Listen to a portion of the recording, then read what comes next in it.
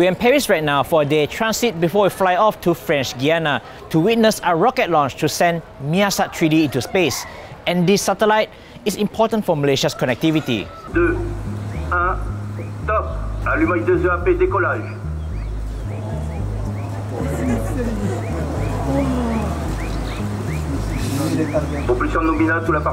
Sont normaux. So for those who don't know, MEASAT is Malaysia's main satellite operator. They've been in business of managing satellites for about 30 years. Their first satellites, MEASAT 1 and MEASAT 2, were launched in 1996 and that enabled Astro's direct-to-home services. Suddenly, all Malaysians can get access to dozens of international TV channels by subscribing to Astro. Eventually, they launched more satellites such as MEASAT 3, MEASAT 3A, and MEASAT 3B. They've also partnered with other providers for MEASAT 5 and also Africasat 1A. And these new satellites enable new services, including satellite broadband. If you're watching this video smoothly and in high quality, you must be wondering, why do we even need satellites when you can use fiber and mobile technology such as 4G and 5G? Even Astro has started shifting its pay TV customers to IPTV solution. Well, the answer to that is the current state of Malaysia's internet connectivity. During the pandemic, we have seen stories and reports about students climbing trees or traveling long distances to get decent mobile reception for online learning. And the government has also kicked off its Jendela program with the aim of increasing 4G coverage, mobile broadband speeds, and expanding access to fiber broadband. It aims to achieve 96.9% of 4G population coverage by the end of 2022. According to the Malaysian Communications and Multimedia Commission, covering the last few percentage of the population is the toughest to complete. Some places are just so remote that it's not feasible at all to pull fiber or set up mobile tower just for a small population. And that's where satellite comes in. And this is a faster and more cost-efficient way to bridge the digital divide. We're talking about unserved places in Malaysia that have no mobile coverage.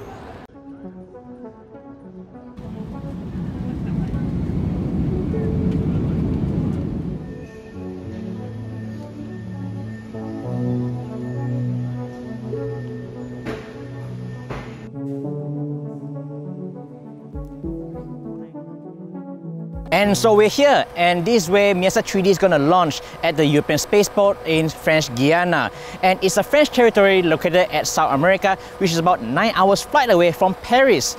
And this is the perfect place to launch satellites because it's located close to the equator. And the rocket that's taking MEASAT 3D up to space is the Ariane 5 launcher. And this is the same launcher that's used to send the James Webb Telescope up to space in December 2021. And it has a maximum payload of 10 tons and this will be the fifth last mission for Ariane 5. The launch we're about to see is flight VA257 and this is also the first Ariane 5 launch in 2022. For MEASAT, this is the fourth rocket launch by Arianespace in Kourou.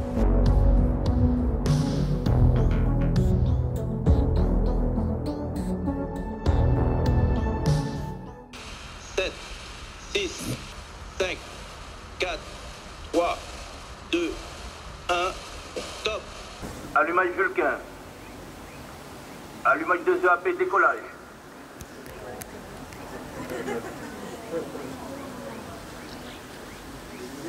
Propulsion nominale, tous les paramètres à bord sont normaux.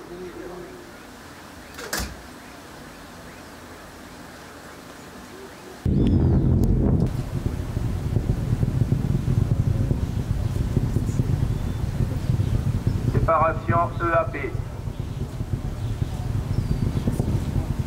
Alright, so MEASAT 3D satellite launch was a success. So the launch window was supposed to take place at 5.03 am Malaysian time, but due to some technical issues, it was postponed slightly later, and the liftoff for the Ariane 5 rocket took place at 5.50 am. And the MEASAT 3D satellite was separated at 28 minutes after liftoff, and a couple of, of dozen minutes later, uh, it's been confirmed that the satellite has been launched successfully into space.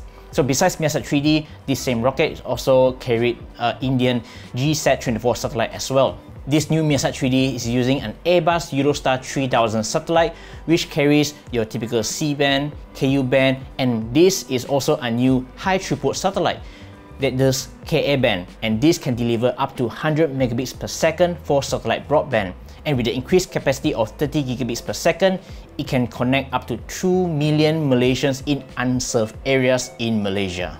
Besides that, it also carries Q and V bands, which is used for future purposes, and this will help MEASAT to design its next satellite.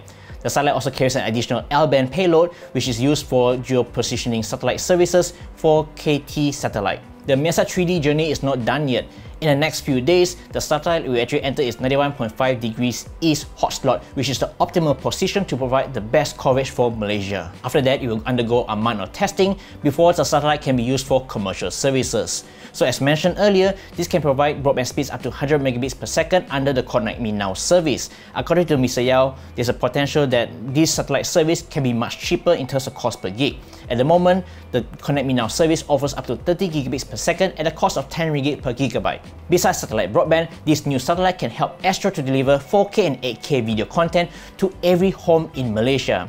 In addition, for telecommunication services, Maxis can potentially use satellite as a backhaul to provide mobile coverage in rural areas. So that's all from the launch of the MEASAT 3D satellite right here at Kourou, French Guiana. If you like this video, please give us a thumbs up, like us on Facebook, and don't forget to subscribe us on the YouTube channel and hit the notification bell icon so that you be informed of future videos. This is Alex from soyacincau.com. See you guys later. Bye!